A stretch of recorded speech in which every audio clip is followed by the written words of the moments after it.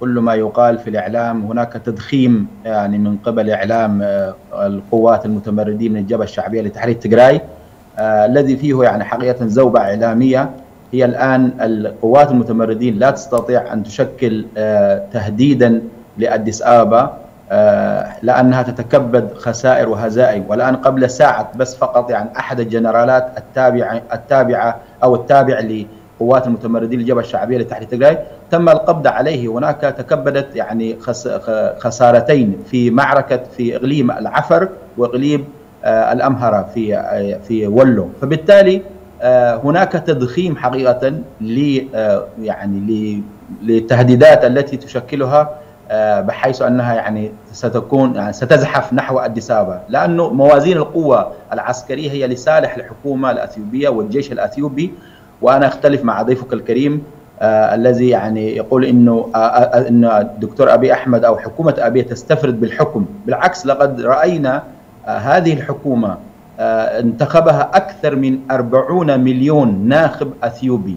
وهي انتخابات السادسة. فبالتالي وكذلك حتى الجيش الأثيوبي الآن هو لأول مرة يتم إصلاحه بحيث يكون جيش وطني. في حكم الجبهة الشعبية لتحرير تجراي كان جيشا حزبيا وليس وطنيا. الأصل في الجيوش الوطنية أن تكون تكون تحمي البلاد وفقا للدستور للدستور البلد أنه يكون جيش وطني ولا ينحاز لأي حزب من الأحزاب السياسية. فبالتالي آه الآن الحكومة الأثيوبية تستمد شرعيتها من أنها حكومة منتخبة في الانتخابات السادسة. كانت انتخابات نزيهة شهد لها العالم. فبالتالي الآن كل القوميات الآن عندنا حكومة يعني يشترك فيها القوميات ذات الأغلبية مثل قومية الأورومو والأمحرة وكذلك حتى القوميات طيب ربما سأعود إلى هذه النقطة المهمة أستاذ ياسين لكن اسمح لي بما تفضلت به. البعض يمكن أن يرد عليك أنه تقول زوبعة في فنجان وتهويل إعلامي. إذا لماذا أعلن أبي أحمد حالة الطوارئ؟ لماذا دعا سكان العاصمة إلى التسلح؟ وحتى فيسبوك حذف منشوره الخاص بهذا المعنى. هذا لا يدل على أنه هناك زوبعة وهناك تهويل إعلامي. هذا يؤشر ربما على انهيار الجيش الإثيوبي أمام قوات التجري. هكذا يقول البعض. أول حاجة إعلان إعلان الطوارئ هذا شيء عادي في الحروب وخاصة الآن هي الآن الجبهة الشعبية لتحرير تجراه هي تخوض معارك حرب العصابات. فحرب العصابات قد تتسلل وتخترق يعني حتى بعد المدن وبعد الشعوب في الأقاليم المختلفة. فبالتالي من هذا الباب هو زيادة الوعي الأمني لدى الشعب الأثيوبي لأنه الشعب الأثيوبي الآن هو انتخب حكومة يرى أنه التحول الديمقراطي في أثيوبيا هذا من مكتسبات الشعب الأثيوبي.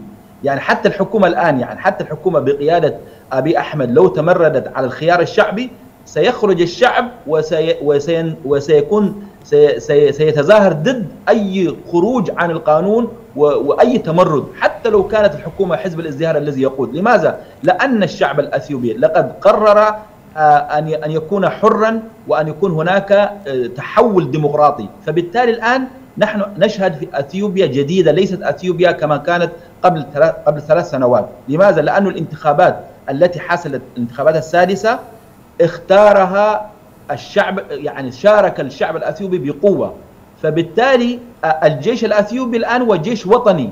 مدعوم من قبل الشعب، مدعوم من حكومة منتخبة، أنا أقول لك مثلا يعني ضيفك الكريم في الاستوديو من السودان يعلم ذلك عندما كان كانت الجبهة الشعبية تحكم أثيوبيا كأقلية. وأنا أثيوبي من قومية تجراي أعلم ماذا ماذا أقول؟ يعني حقيقه كانت هناك الأقليات العرقية القوميات ذات الأقلية في إثيوبيا مثل قومية الصومال والعفر وبينيشانغول وهرر بس هذا مثير أستاذ ياسين. انت أنت من التجراي كانت مهمشة. نعم انت أنت من التجراي وضد التجراي الآن. تؤيد أبي أحمد وهو من الأمورو. كيف ذلك؟ أسمعني. أنا أثيوبي اولا قبل أن أكون تجراي لكن أقول لك أنا عشان جميل. كمعلومة أقول لك شيء. نحن الآن في أثيوبيا كل القوميات تحولنا من ال...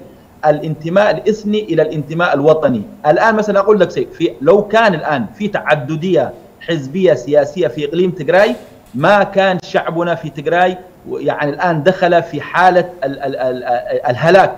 لأن التعددية السياسية تضمن الخروج الآمن تضمن يعني ارتكاب أقل الخسائر.